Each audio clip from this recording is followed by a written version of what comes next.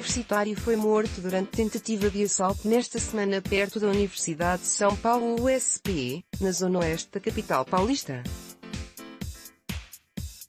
Segundo a assessoria de imprensa da Secretaria da Segurança Pública, SSP, dois suspeitos foram detidos pelo crime, um adulto de 19 anos e um adolescente de 17.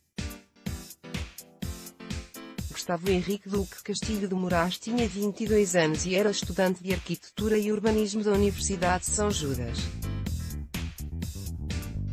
Ele foi baleado na última quarta-feira, 20, por criminosos que tentaram roubar o carro do amigo dele na Avenida Escola Politécnica, no Butantã. Universitário de Moraes tinha 22 anos. Foto. Reprodução. Facebook. De acordo com o boletim de ocorrência registrado no 91º Distrito Policial, DP, Ciasa, Gustavo estava sentado no banco do carona quando o motorista acelerou com medo dos assaltantes, que estavam numa moto e em seguida atiraram. O tiro atingiu a cabeça de Gustavo, que foi internado em estado grave no Hospital das Clínicas da USP, no centro, onde não resistiu aos ferimentos e morreu na quinta-feira, 21, ele respirava por aparelhos até que, depois de exames, o médico constatou morte cerebral e a família optou pela doação dos órgãos.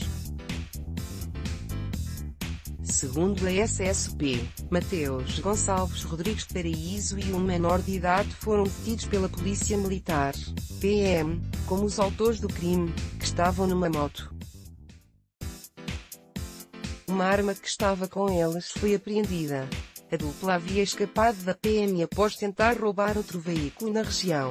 Na fuga, eles bateram a motocicleta num semáforo. Estudos, amigos e paixão proibiu na Universidade de São Judas, onde o estudante universitário completava o curso de Arquitetura e Urbanismo, publicou uma nota de pesar pelo falecimento de seu querido aluno. Gustavo sempre foi um aluno aplicado, muito dedicado, tinha o carinho de professores e dos alunos. Ele amava a sua futura profissão e era extremamente engajado em sua vida acadêmica. Nossas condolências aos familiares e amigos. Que fique o seu sorriso e seu amor pelo mundo, diz a nota da instituição de ensino. Gustavo Henrique Duque Castilho de Moraes havia acabado de entregar o trabalho de conclusão de curso, TCC, cujo tema era um projeto de melhoria estrutural do entorno da represa de Itopararanga, a Ibiúna, a fim de fomentar o turismo ecológico na região. A paixão dele era essa represa, que é uma área de proteção ambiental, APA, e frequentada por muita gente da região. Ele queria desenvolver o turismo ecológico por meio da melhoria da infraestrutura do entorno. Sou biólogo e trabalho com educação ambiental em Ibiúna, então ele me chamou para que juntássemos nossas ideias para a melhoria do local, contou Suilene Moraes, prima de Gustavo. O professor da universidade, Aníbal Montalvi, orientou Gustavo em seu último projeto, e publicou nas redes sociais uma nota comovente a respeito da morte prematura do rapaz. Ele desejava transformar o que havia à sua volta e que para ele era tão caro. Brilhava os olhos ao mostrar o local de onde pertencia e onde a maior parte de sua história foi passada, escreveu o professor, com o apoio de centenas de alunos. Ele sempre foi muito querido.